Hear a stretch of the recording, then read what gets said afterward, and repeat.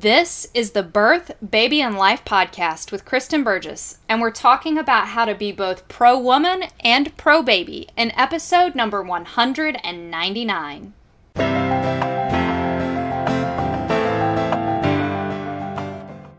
Okay, today we are revisiting pronatalism, especially how it impacts women who incontestably carry the heaviest load when it comes to both carrying, bearing, and raising children. As a single mother of eight, I definitely know this, and so I definitely wanted to address this. If you don't know me, my name is Kristen, and I am a pregnancy coach. I work with mamas all over the world, helping them to enjoy a healthy pregnancy, give birth to a healthy baby during a beautiful and lovely natural birth. And I also work with mamas to help them create a happy, healthy, happy home for their children. So, again, again, last week we talked about pronatalism and a broad overview of it. What is it? Why is it a, you know, why is the reduced fertility rate a problem? And we talked about some arguments that you hear uh, against pronatalism and some of the implications just overall for you to think about for yourself and for your children. So this week I want to make the case for pronatalism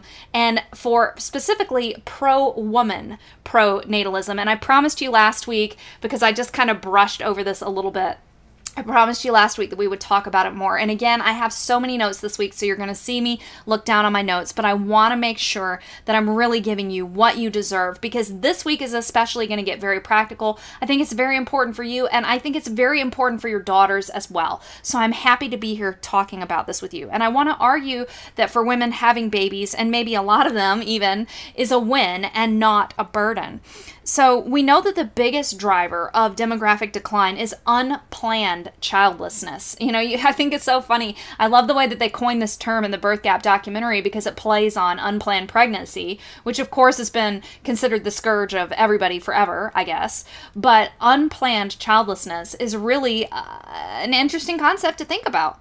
So, I hope what this episode can do is is it can provide points for discussion about especially why it's worth carrying that first child and to provide a map of sorts for women wanting a family. And I realize I might be preaching to the choir a little bit because if you're listening to my podcast, you've probably already had children or you're pregnant now and you're planning a natural birth, that's probably how you found me.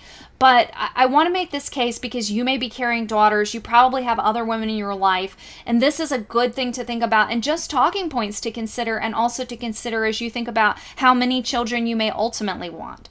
Um, this also harkens back to my episode a couple of weeks ago because I talked about mothering being a project.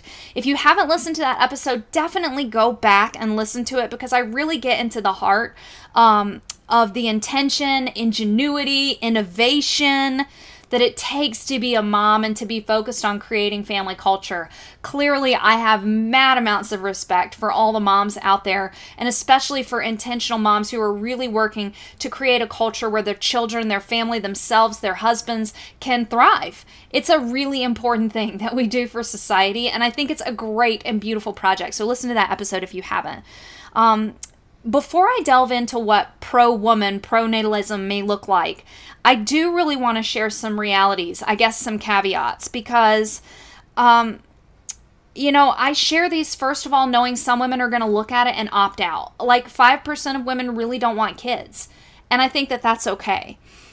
If you're listening to this podcast, my guess is you're not one of those women. You're probably a woman who wants to have kids. Um, but you know, I, I just want to say that some women are going to make that choice. And, you know, what our feminist foremothers worked for was for us to have the choice. And I know that one and done is a thing today. So I know, you know, some women say, well, I want to have one child, and that's fine. So these caveats are there. But I do hope that maybe you'll uh, you'll look at this um, and see that what might be a downside of having kids may in the end end up being a great upside. And with that, kind of let's get real, right? So I I don't want to sugarcoat anything. All right, again, I'm a mom of eight. Like my kids were at camp last or a couple weeks ago, and it was like, oh my goodness, when they got home, I was like, oh, it had been nice to have just one kid here for a little bit. So you know, the truth about pronatalism, the truth about having babies, having a family, having multiple kids, having any kids, is that it does mean sacrifice. We can't sugarcoat that. Uh, you have to prioritize relationship over self fulfillment, and children are prioritized over some level of freedom. You can't likely have the same level of travel, Zen retreats, and exercise classes and that sort of fluffy stuff that really does enhance our well being, perhaps. Maybe it enhances and furthers our spiritual path. Those things may be limited.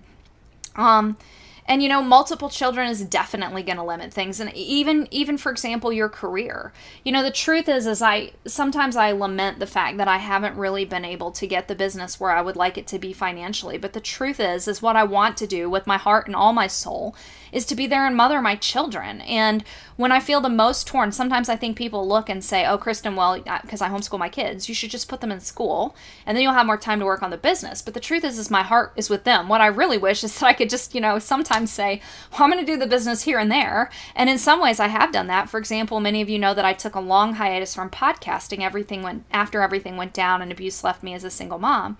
Um, but the reality is, is like I just my heart is with my kids. That's that's what I want to do.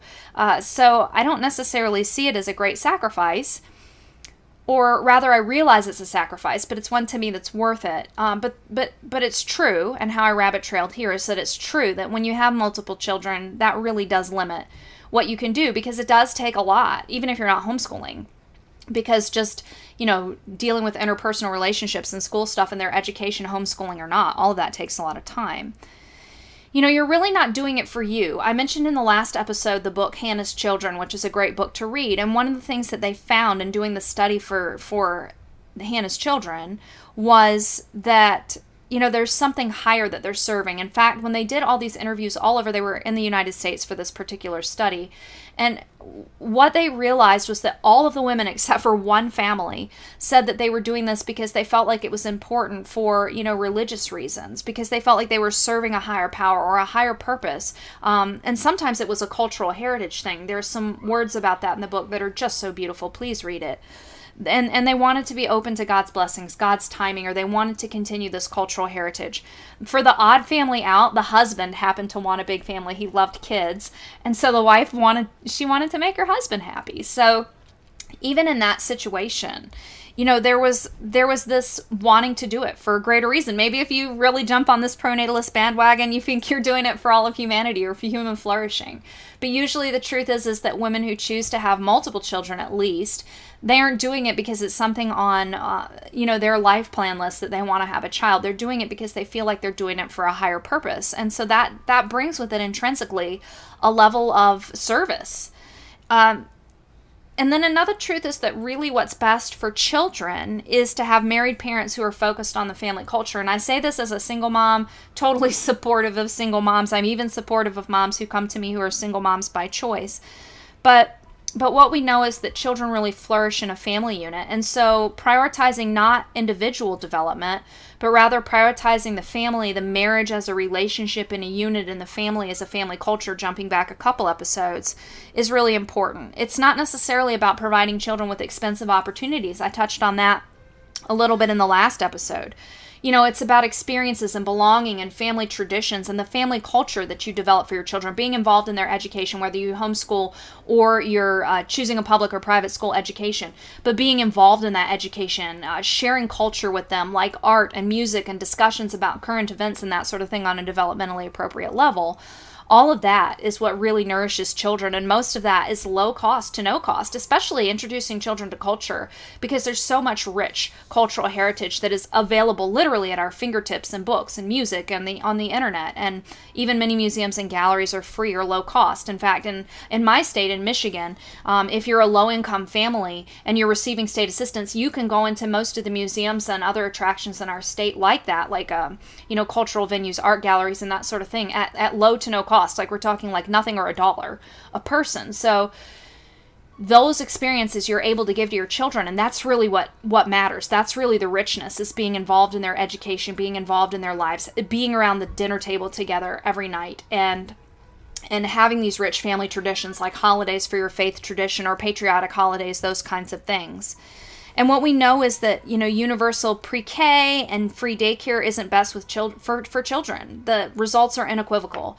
Being with their mother is the most important. Now, if we look at policy, family policy from a pronatalist perspective, we can see that fertility rates bump a little bit for both uh, state subsidized daycare and for longer paid parental leave.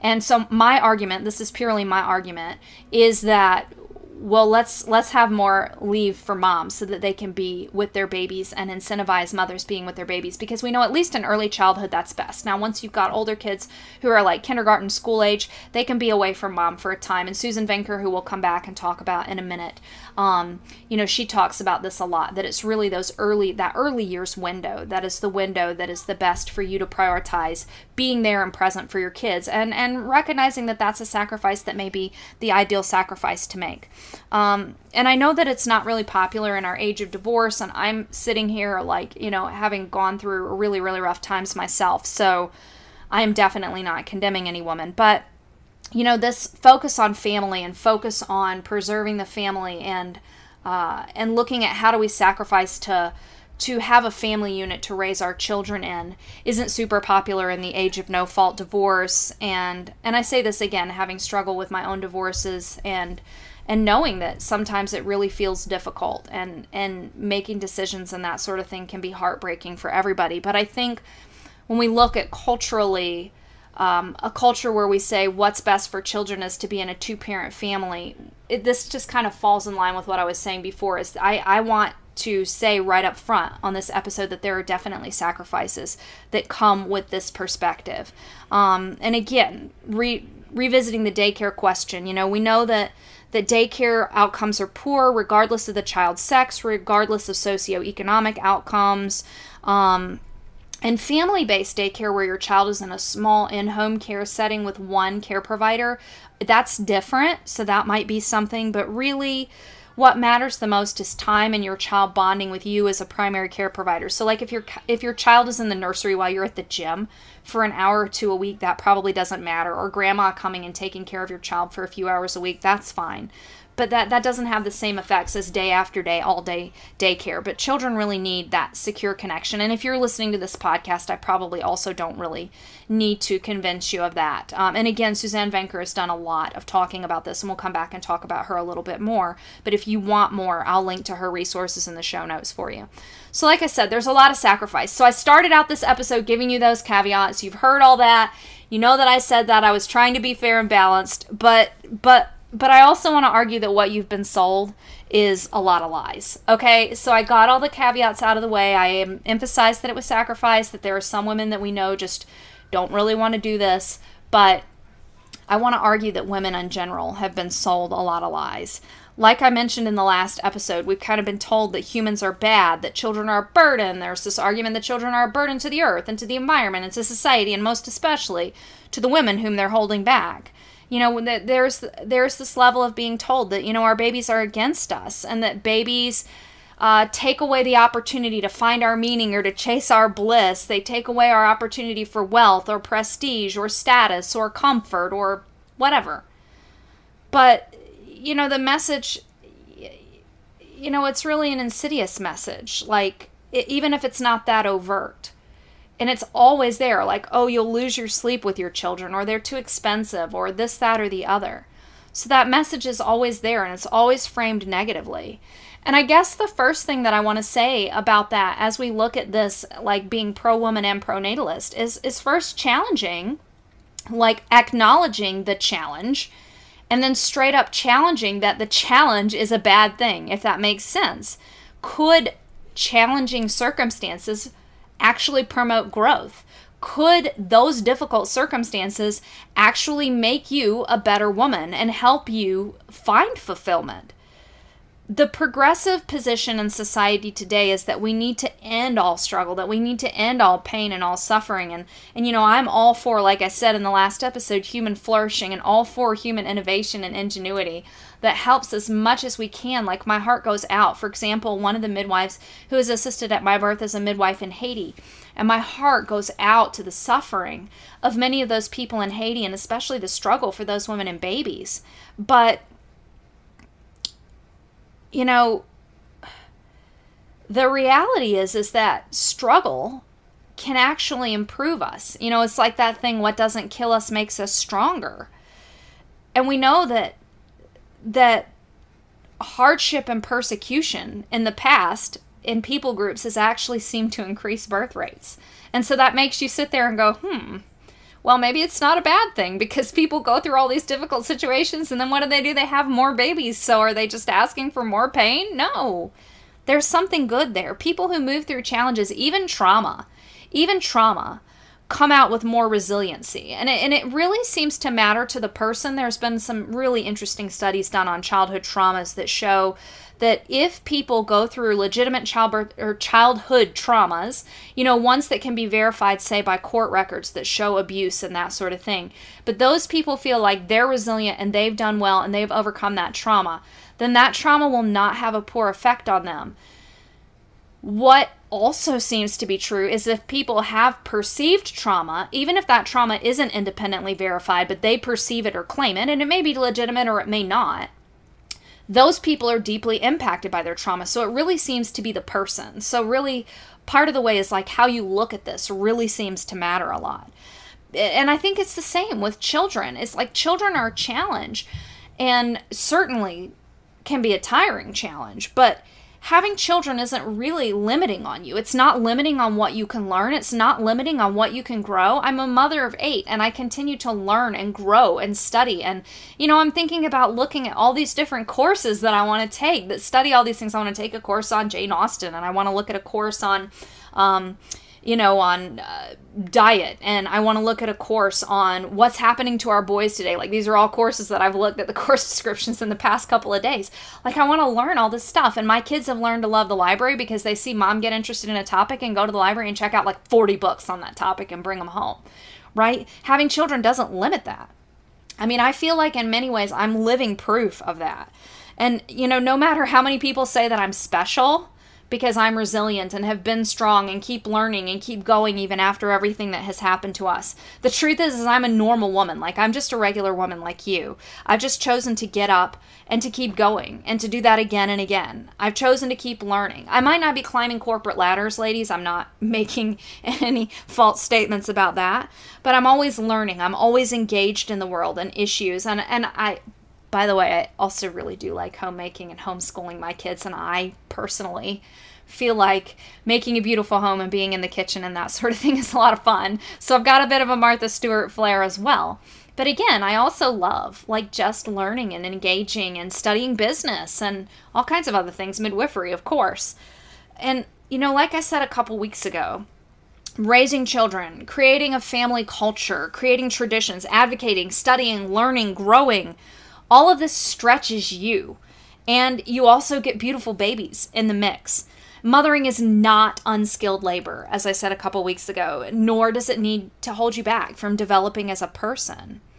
So, a few broad thoughts, and then we're going to just really get very practical on what does this mean to be a pro woman pronatalist, or how could you make that happen in your life, or how could you talk to your girls about possibly having this in their futures.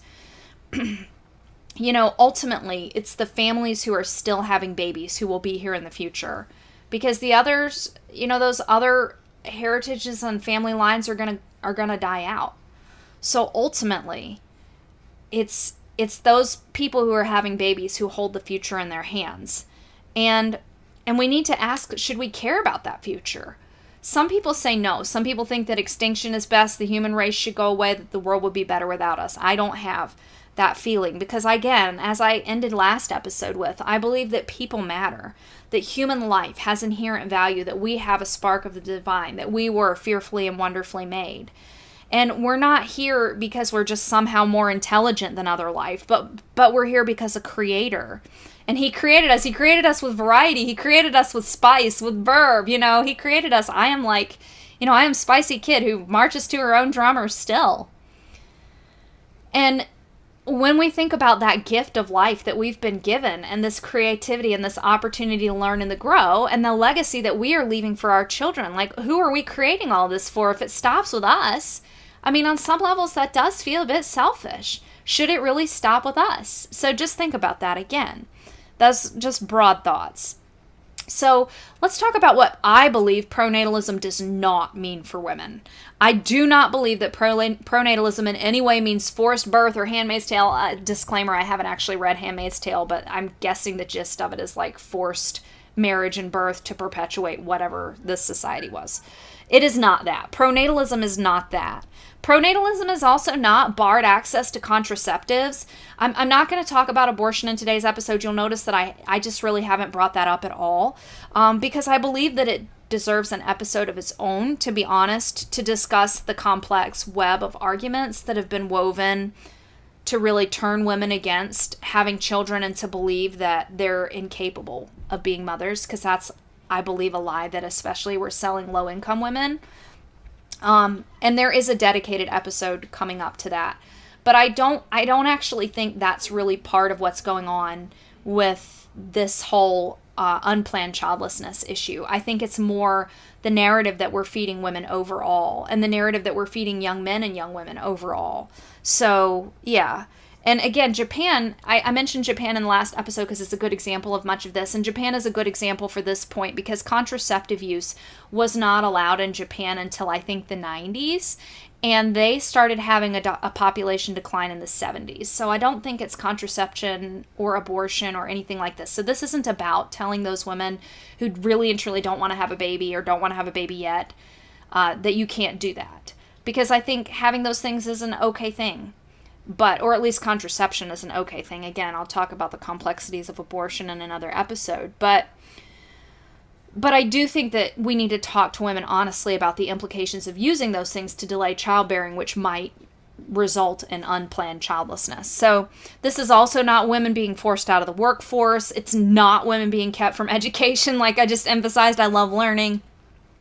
And again it's not about hogging resources. It's not about being supremacist large families are not resource hogs. Um, Rachel Lu, who wrote an article I'll link to in the show notes, uh, she wrote in the National Review an article about natalism, which is another name for pronatalism. And she, you know, she said some people will make that accusation, and that's just really not true. Again, I think that we can learn to raise humans, even a bunch of them, in a way that is sustainable and beautiful. And many families are working towards that now. Many people are working towards that now.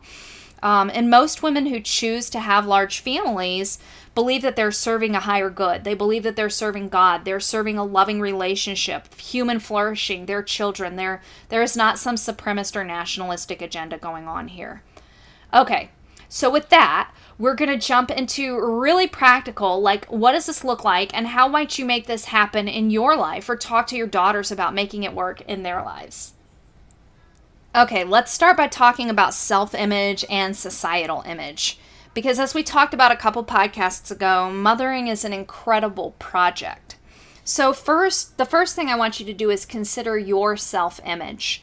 Um, as soon as you stepped on the kindergarten assembly line, I guess, the kindergarten um, belt, you are in a kindergarten to career pipeline achieving a career is what you were told defined your worth. Opting out of that or delaying that intentionally, it might cause you to recalibrate your worth. It might it might cause your self-worth to take a hit and to take even a societal hit. Because think about it. If you've been told from the time you were in kindergarten up until you started your career or graduated from school or whatever that you know your worth was going to be defined and your purpose and your fulfillment was going to be found in this career that you have. And there's really no talk about your family or the family life is considered kind of an accessory to that. And then you say i'm going to step off of that treadmill and do something different your self-image could take a hit and I don't know if you've ever thought about that or conceptualized that before, but I can tell you that even as a woman, I've had eight children. I've been a stay-at-home mom. Even with everything that I went through, if I went back again, I would, I would, I mean, I might make some differences, but fundamentally, I would still choose to be a stay-at-home mom. And so I'm like, I am the statistic that, that women warn their daughters about, right? You know, oh, you want to get an education and everything so that you don't end up alone and having to do it all yourself with nothing. Like I am, I am that statistic, and I would still go back and be with my babies, right? But even having said that, like I think probably the biggest struggle of my adult life has been feeling a low self worth because I've never been able to make the amount of money that I feel is what I need to make. And in reality, that's kind of nebulous, right? But I feel like I've never been super successful in my business. I've never been super successful in a career because I've never really had a career, right? I've done like side gigs here and there. And so that's really been a struggle for me. And it's been hard for me to figure out how do I define my self worth. It's like people will tell me, oh, Kristen, you're so strong. You've done so wonderfully. Look at your beautiful children. Look at how well they're doing. But I still have trouble saying, yep, I'm awesome because, well, I haven't had financial and career success like the world tells you. So that message is really insidious and really pervasive and it can really hit to its core is something I struggle with. So that one is one that I want to bring up right away. And it is a practical step because it's really something you have to realize might impact you and might be a struggle if you choose to say, I'm going to have babies or I'm going to put this on pause while I go have babies. So, with that, what are solutions that promote babies and women's fulfillment? And I like the idea of sequencing. And there's actually a book from the 80s. I'm looking here to see if I have written down the author, and I don't. I think her first name's Arlene. I'll have it in the show notes for sure. But she wrote a book in the 80s called Sequencing, and it's a great book because she talks in the book about that you know you can have it all but not all at the same time and this is something we'll hear echoed from suzanne whom i'm going to talk about again in a minute and so think about it you and the sequencing really matters. The order matters because biological clocks are a reality. They matter, right?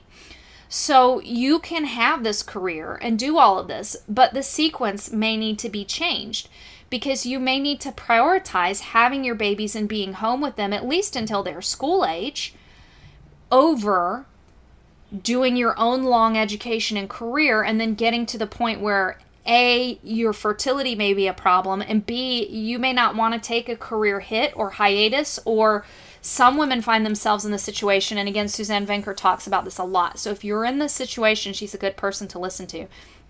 You may find yourself in the situation where you're the high earner. You're the one who has the health insurance. You're the one that has the well paid job, and your man maybe isn't quite to that level. And then if you're the one that want to, wants to be with the babies, what do you do in that situation? So these are things to think about. And again, this is something that's really important to think about with our with our daughters. And I also want to argue that I don't I no longer believe that taking time out to have your babies puts you behind. Maybe you will never have the lifetime earnings of a man who doesn't take time out. But I also don't necessarily believe that that has to be something that cripples you later in life, that you don't have total lifetime earnings. Because again, why do we measure our life's worth on our lifetime earnings, anyways? But the reality is is it doesn't necessarily put you behind. You can go back to school literally at any point when you want to and continue your education. And you can begin a career and oftentimes you will bring something to a career especially once your children are older and there's like not necessarily the risk to the employer that you're going to jump back out of the workforce to have babies but rather you've got old school age children or your children are grown and you're kind of free to have your own career but you know you can work your way up or you could find careers where your wisdom and expertise are actually an asset. Because once you've raised up those children you know you're a smart cookie unless you've just sat around eating bonbons and watching soap operas and i really don't believe that's what women do when they stay home with their babies. So people on their deathbeds don't talk about the raises that they missed. They talk about relationships and so that's something to really think about. And then, even when we think about financially, I like thinking about the FIRE movement. If you haven't heard about the FIRE movement, that stands, it's an acronym that stands for Financial Independence Retire Early. If you look that up, you'll find a world of resources, but I'll link to a few that I like the reality is is that you can absolutely catch up and one of the things that the fire movement does is it tells people of course it's getting some young whippersnappers who are like right out of high school and college who are going to go all in on this and everything but one of the things the fire movement does is work with people who are like realize partway through life oh my goodness I've done nothing to prepare. I don't know what to do. And they'll tell you that you absolutely can catch up. There is so much that you can do. So if people can do it in the fire movement, then you know you can do it too. And you can even go join facebook groups and stuff for the fire movement and learn more. So you may have those lower lifetime earnings but you also have riches in other ways. And also maybe you benefit with this strong family culture that reverses today's trend of kind of believing parents need to be left on their own or that we don't have any duty to parents or that kind of thing. You know maybe maybe our generation that focuses on having babies and treasuring them and and and refocuses on that family bond is a group that looks again at multi-generational households and that sort of thing. And that's you know that's even further outside the scope than i want to go on this podcast but it could be that the riches that you earn give an exponentially larger return than those dollars many of which i will argue with you ladies many of which might be wasted in frivolous ways. I remember when my baby my big babies the ones who are now all adults were little people and we went to this church before we moved to michigan and i can remember one of the women crying. I can't. I think it was when my Brennan was a baby, and she had a baby who was he, a baby boy about about Brennan baby's age, and the ladies' bathroom had like a lounge area attached to it, and there was a speaker, so you could sit in there and listen to the sermon while you kind of bounced grumpy babies on your knee or whatever. And so we would often end up with ladies in there, and she was crying on this Sunday because she didn't want to go back to work because she wanted to be with her baby. She had two older girls. She wanted to be there when they were home from preschool and stuff, and she wanted to be with her little new baby boy. And she was crying because her husband was insisting that she go back to work because she worked as a pharmaceutical representative and made a lot of money and he really wanted a new boat and this that and the other and i just always thought about that and maybe there was more to the situation but i always think about that it's like you know what is a boat to those priceless years with her baby. And I thought his priorities were wrong. And one of the things is, I think a lot of young men today have been conditioned by the same thing as women. And also, they don't have the same biological drive to be with their babies. So, in some ways, they're like, yeah, what? So, what if somebody else takes care of the baby in childcare? So, what? Um, because they just don't have that same, they don't have that mama instinct because they're not mamas. But, you know, again, you can absolutely catch up financially. You can do good things. You can follow the Dave Ramsey baby steps plan on one income. You can you can follow the fire movement and get your retirement sorted out.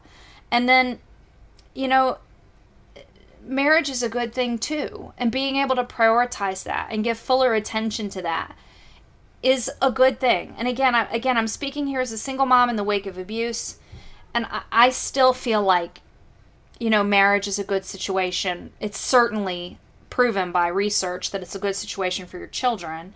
And I think for most families, and figuring out that juggling um, and how both spouses can find some level of fulfillment. Um, Laura Vanderkam, I don't have her in the show notes right now, but I'll add her in. You know, she does a lot of writing on women and productivity and, and she writes a lot about working women too but but she talks about like finding fulfillment while you're busy in the midst of parenting and i think that that's there. And again like i mentioned a minute ago higher education is still there even if you're doing sequencing even if you're putting some things off. Putting a hold on higher edu- education is okay. Prioritize your marriage and family. You can go back and get the degree or the master's degree. You know i finished my bachelor's degree because i got pregnant with cassidy in my freshman year of college dropped out of college I went back and finished my bachelor's degree 20 years later. um, but I did it, ladies, and I feel really proud of it. I have a paper on the history of, of, of uh, birth and midwifery, and especially women's voices in childbirth. I wrote my thesis on that, and that is published in a journal. I'm super proud of that. And I'm super glad that I did it when I did it because I, I gained a lot as an adult student. I gained a lot of perspective. You know, higher ed is there. And the faculty just cheered me on. Like they were proud of me. Nobody was there shaming me they were just proud of me. It was awesome. Uh, also, a little bit stressful while juggling being a single mom, but it was fun. And it was a good thing for someone who loves learning. And, you know, you could do the same thing. I, my mentor in the single mom organization in my area, you know, she did the same thing an abuse situation that left her a single mother of seven. And she went back to school. And now her children are all adults. And she's got this uh, job doing social work and working with families that she really loves. And so again, you know, those opportunities are there for you and the wisdom that I know that she brings to those families that she's working with because she's working with families who are at risk is great. So the wisdom that you gain and bring through your experiences in your life are going to help you. Both the challenges like I talked about a few minutes ago, the challenges help you grow and also the positive things and and, and what you learn will really help you. Now, I also think that one of the benefits of being a mom is especially if you're listening to my podcast you're probably interested in natural mothering and that kind of thing natural health natural birth if you've listened to any of my other podcasts, you know that I really emphasize working on your health as a mom so that you can have the birth experience that you want, so that you can have a rich and abundant milk supply and that kind of thing. And even optimizing fertility so that you can have babies. If, if you took my fertility class, and if you didn't, it was really, I'm really proud of the fertility class that I did at the beginning of the year. I'll link to it in the show notes in this episode too. But I did so much digging and learning and researching, again, that continuing education. And I learned so much about how you can boost your fertility and all of those things boost your health overall. So I believe that, you know, I believe that being pro woman can be being pro fertility, being pro pregnancy and birth, those things don't have to be depleting or terrible. I do think that all women should take a lying in period after birth because, honey, you deserve to be pampered. But it's not because you're an invalid or becoming weak because of what you're doing, because of what you're bringing in life. And, and science is starting to back this up. Like research is showing some amazing benefits to women for having babies and long life, even in brain function and cognition and bone health and that sort of thing. So I believe that, you know, optimizing fertility and optimizing for pregnancy and birth has a net positive effect on a woman's health. And I also, you know, if you've listened to anything, I certainly believe that empowering and beautiful birth experiences enhance women's lives and help them to become, you know, mama bears and warrior women and stronger and more confident in yourself. I could go on and on and on and have gone on and on and on about all that stuff. So, you know, I think that those things are a net positive. And I, I I, I think it's a good thing. Now, I do want to address child spacing because I don't necessarily want to equate pronatalism with just like popping out baby after baby after baby with no gap. Um, I do think that having some child spacing is a good thing because it's a benefit to your health. Maternal infant health, breastfeeding, all of those things tend to go better.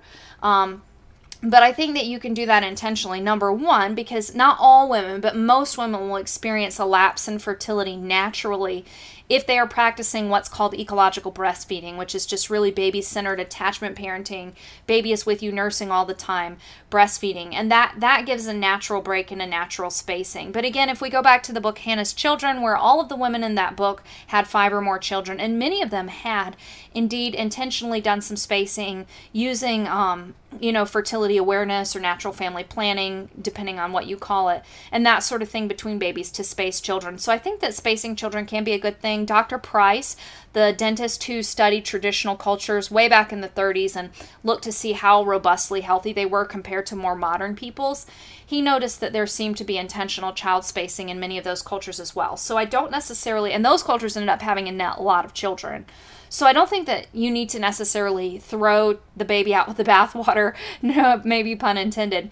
You can do some child spacing, but I but I want to say that I think that overall a woman's health can benefit from childbearing if she, you know, if she doesn't listen to the standard pregnancy advice. You know, I, I don't want to toot my own horn, but listen to what I talk about with pregnancy nutrition and pregnancy health because it's evidence based and there's people like Lily Nichols who are also doing evidence based work on this. But your health can can benefit from your babies, not just your fertility and ability to carry more babies, but your lifelong health, including cognitive health and happiness perhaps as well. Um, you know so looking at another practical thing is is can we change culture? Can we shift culture to make parenting more rewarding? And i touched on policy a little bit in the last podcast. We do know that some policy seems to make a difference i.e providing daycare or longer parental leave. I personally am in favor of of parental leave particularly for mothers because I believe that's what's in the best interest of the child and the mother and in creating a family culture. I don't believe that putting your baby in daycare, the evidence just does not back that up as being good for the baby, even if it does seem to perhaps raise birth rates a little bit. Um, but cash incentives and that sort of thing don't really seem to be motivating in the long run. Hannah's Children says that, um, you know, it doesn't seem like any family policy has really shown to work in the long run. But I do think personally that having uh, social systems that encourage parenthood and that celebrate that and that give benefits to parents as far as tax incentives and that kind of thing are a good thing. Um, Simone Collins, remember Malcolm and Simone that I mentioned, talks about removing unreasonable restrictions on parents. So, you know, like um, not calling the police if a child is playing alone at the park when you know they're a reasonable age to do that or having onerous regulations. I, there's actually a really interesting paper that simone brought my attention to that shows that as car seat restrictions got got stricter and stricter people started having fewer babies which is really interesting. You know correlation doesn't always equal causation but the article that she shared makes a really compelling case. So you know, it could be that we need to look at our policies and ask how child friendly they are and also how parent friendly they are because free range parenting seems to be a good thing for children and for parents. Like, we don't want, you know, helicopter parenting is not sustainable. And that seems to be one of the problems today, perhaps, with thinking that parenting is a burden. But we don't want helicopter helicopter parenting. A really cool way that we can possibly increase birth rates and make this more fun for everybody is that seeing families, large families enjoying life becomes an intrinsic motivator. So in our society today, uh, there's definitely a bit of a division. We just don't see children as much as we did in the past. And I think that feeds into a negative spiral. And when you look at cultures like for example Israel. I don't think I've mentioned Israel yet. Israel is the only developed nation that has a positive total fertility rate, a total fertility rate that is above replacement level. And one of the theories for that is that big families are seen often in Israel, which becomes a self reinforcing positive spiral. So when you see big families everywhere enjoying things, or I even think about the families that, that load all the kids into the RVs and go traveling and that kind of thing, or, you know, they're living as expats in all these beautiful exotic locations, or, you know, they're they're doing fun things with their family and maybe they're influencers or something, and you see all these people with big families. And I know we could argue about, oh, you know, do we need to parade our children around? But I do think that having some families that are modeling that big families can have fun and can be happy and can go do things helps make more people consider having families. And then again, like kind of living large on less is a good thing. I do think that some of these issues, because we haven't really touched on men yet, so I had men in my notes here.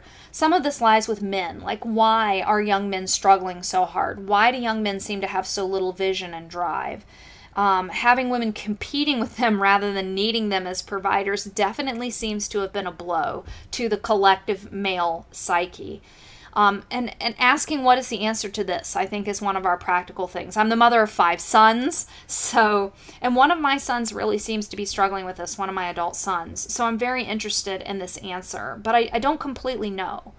I do think that sequencing is a possible answer because that solution allows the man to be valued for his ability to provide while the woman is at home with the young children and then maybe they're both on a career path as the children are in school. And that might be helpful. Um, and i also think we need to stop disdaining men for being men. Like we teach boys or society teaches boys that masculinity is toxic. But the truth is is there is a place for chivalrous men for the man who wants to provide who wants to excel to become better for his woman and, and, and for his family. I think there needs to be balance. But i can tell you as as a single woman that I think the world needs chivalrous men. You know, it is tough doing it all on your own. It's not glamorous. It's it's it's not usually fun. Um, so there's a place for that, and I think we need to just acknowledge that as we talk about solutions overall. Ultimately, I'm speaking to you ladies, and but I encourage you to ponder this because it affects your sons, and I think men certainly need to be part of this too, and certainly they hold some culpability for being boors at times, as in B O O R S. Um, but I do think it's something that we need to think about and think about how has making men unnecessary impacted them and and and at the same time perpetuated this negative spiral of not having men who are worthy of being providers and being family men and thus contribute to the problem of of there not being families. All right, Let's get really practical here. So, Suzanne Venker, who you've heard me mention several times, I'll link to her YouTube channel, and she's also got some great books. I really like her roadmap. She's got a book that's specifically on this now, and she talks about how you need to plan for marriage and family now. So, especially if you're a young woman and you haven't had children, or you're early in your life, or you're talking to your high school, college age daughters, now is the time to think about this. Prioritize marriage because, yes, this is a thing. Value marriage, value growing together consider the partner issue because, as I mentioned in the last episode, getting a partner gets harder as you get older. In your 20s, again, you grow your lives together, but in your 30s, you're trying to kind of match somebody to the life that you've already built. I also like the advice, you know, think about when you're looking for a man, and I know a lot of you are already married or partnered, but uh, again, talk to your daughters about looking for successful men. You know, smart girls marry rich, right? So marry a man who is focused on being a provider or who has the potential to be the provider. Like I said, I, I think I can't remember if it was in the last podcast episode or this one that I recently read an article about um, it was in the Wall Street Journal, and it was about these young men who are HVAC technicians in New York City. And, you know, the, those young men are on track to be making $170,000 a year. And one of them was talking about how he wants to buy a little homestead outside of the city. And he's probably going to be doing some long hours for sure, but he's going to be able to provide a good life for his wife and his children. And if she wants to stay home while the children are young or even homeschool, he'll probably be able to provide for that. So it doesn't necessarily mean that you need to wor- worry about marrying an executive or an engineer or something. It could be a blue collar worker because as we have fewer babies, blue collar workers are going to be making more because we still need plumbers and we still need mechanics and we still need HVAC technicians. And there's going to be fewer of them, so they're going to be able to charge higher. So that's something to think about. You know, smart girls marry rich. I will put good resources in the show notes. Um, to consider some of these things on finding the right man, cultivating good relationships and stuff, because this is really kind of the foundation of having the freedom to do sequencing, of having the freedom to be a mom. And again, another next practical step is be there for your babies, even if there's debt, even if there's that kind of thing. Like I said in the last episode, even in nations where university is publicly funded and tuition is free, the total fertility rate is still like dropping out. The bottom is falling out. So it's not dead but be home with your babies, even if there's debt, and trust that you'll be able to work that out. You may have to live more frugally. You may have to downsize or give up some lifestyle things, live in a smaller house. But be there with your babies. It really is good. Remember that balance is a myth, right? Be there for your babies and know that's full time. Like, mom guilt is totally hormonally driven especially if you're trying to do two full time jobs. And I really, really, really understand this in the position that I'm in like I mentioned, I would like to just kind of drop the work. Maybe, you know, maybe do a podcast every week because I think that it's fun, but not try and do all of the other stuff that goes with running my business because it's so stressful and I do feel torn between my children and my work. And it's not a comfortable thing. I would rather be able to record a podcast early in the morning or late at night and then be there for them during the day instead of trying to juggle work during the day. So, you know, juggling to, er, you know, even juggling not quite full jobs and all of that, it can be difficult. Um, I just totally agree that mothering is a full time job and that it's really hard. And I think that, you know, and especially in today's day of remote work, moms think they're getting the best of both worlds because, oh, I can finish my job and, or I can stick with my job and just work from home. But at least when you've got a little baby, you may find that that's really, really hard to do, especially if you're trying to bring in nannies and that kind of thing, or even grandma. Like you'll feel jealous that grandma is the one taking care of the baby while you're working. And so think about those things, consider those things. And again, some of you may already be in that situation, and it may be that you decide to make a change, and that's okay. And it may be that you're having to convince your husband to make the change because he's like, you know, Lee's husband that I mentioned a little while ago, who is, you know, I want a boat. But consider these things and especially talk to your daughter about these things. Don't try and have it all all at the same time because you can continue to learn, to grow. You can even keep up with professional connections that you may have made and still have a baby, still have your family. You can do that you know, one of the things that we can ask ourselves is is motherhood a stress and a burden because we've been sold the lie that we can try and do it all at the same time or that we should do it all at the same time or that in order to be a worthy woman, we need to do it all at the same time. Again, I can tell you that as a single mom making all the decisions that can feel liberating at times knowing that I get to make all the decisions and I get to do that. But generally, it's not great. It, it's really tough to bear all those burdens. It would be nice to have somebody else to shoulder the burdens, including the financial burdens, bringing home the proverbial bacon. It would be nice. And so I think that, um, you know, there is a, a sense of independence and a level of independence that comes with thinking, well, you know, I can. I can work and have my own money and contribute and that kind of thing. But in the end, is all of the stress really worth it? I was talking to a friend to get advice on on a homeschool issue just this morning and and sharing that, you know, I want the I want math time to go smoother for my kids. They all do math, but I feel like, you know, me just kind of sitting around for 45 minutes during math time feels like a waste of my time when I could be doing something else.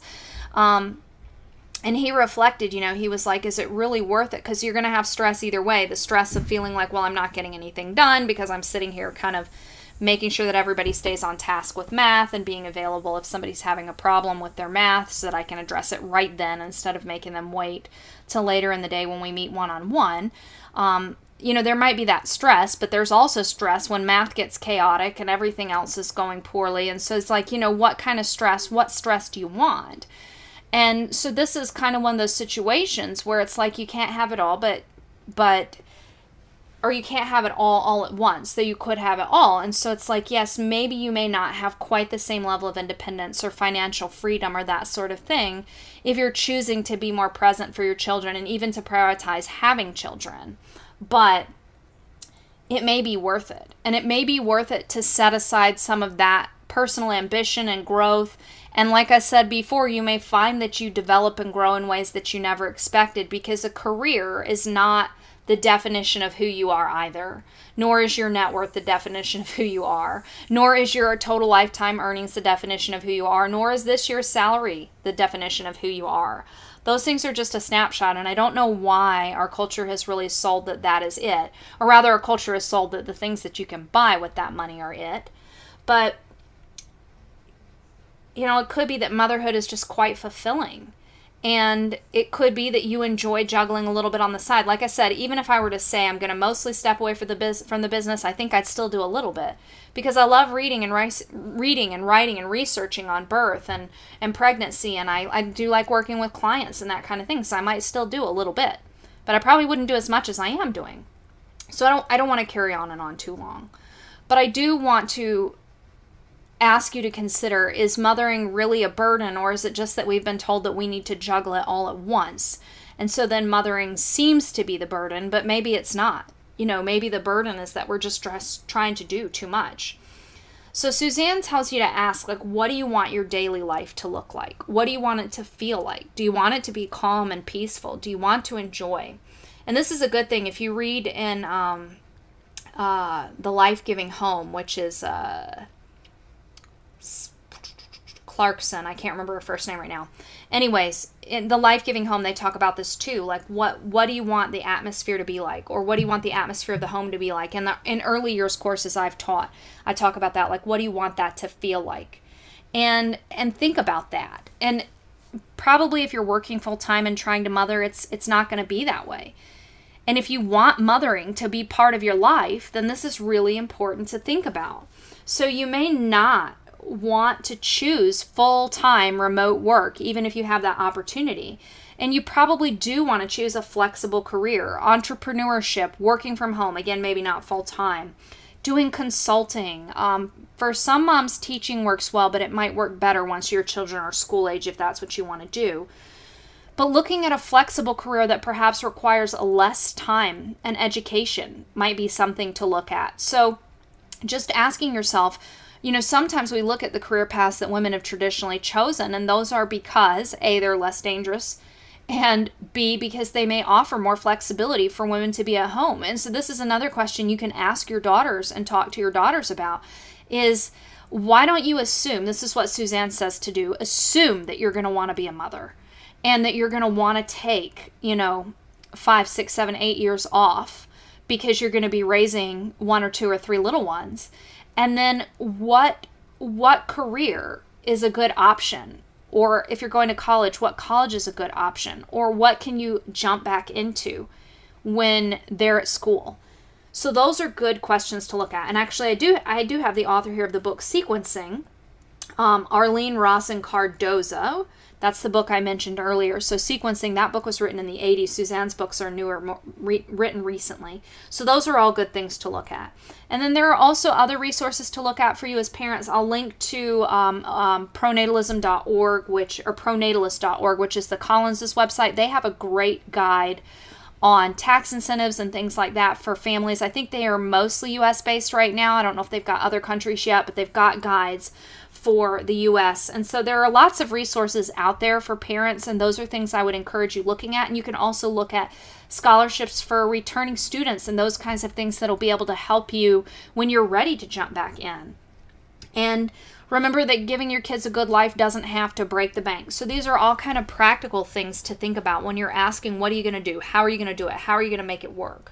So think through, like think through the life that you value, that you want, what your legacy is, the legacy you want to leave when you grow. And when you're again, this question is a good question. When you're on your deathbed, what do you think you'll value? What do you think will have made your life worth living? And when you think about the legacy that you're going to leave, and some people, you know, it may not matter to them so much. They lived their life, they had some fulfillment, they connected with friends, maybe they feel like they impacted people that while they were here, and I respect that. But also look at the legacy that you leave in your children and your children's children. Um, and at the end, you know, will you be content with a successful career, with travel, with loads of free time? Maybe being a great pet mom, maybe that will fulfill you. Or do you want to leave a human legacy? You know, and if you do, that's a huge project, especially in today's world, and consider it a worthy project, as I argued a couple podcast episodes ago.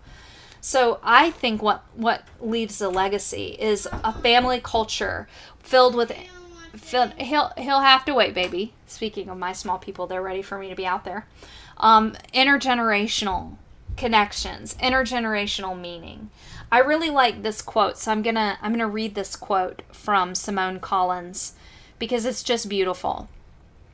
When you think about the amount of impact you can have by building a durable culture that your children in turn pass on, the impact is incredible. And I think people also don't think about the extent to which children hedge their philosophical bets. So think about anything that you can achieve with your career. Even if you are wildly successful, your influence will largely end with your death. If you have children who in turn have children who in turn have children, you have generations of people who can have a huge impact on the future of humanity. Our ability to overcome great challenges, our ability to flourish as a species and even go to other planets. It's kind of hard to imagine anything you can do in your career that would be more impactful than that. So, again, I would just encourage you to talk with people about pronatalist issues, talk with people about the possibility of having babies. If you know younger women, talk with them about the reality of unplanned childlessness and that they may want to consider sequencing and anticipating that they may want to have a family.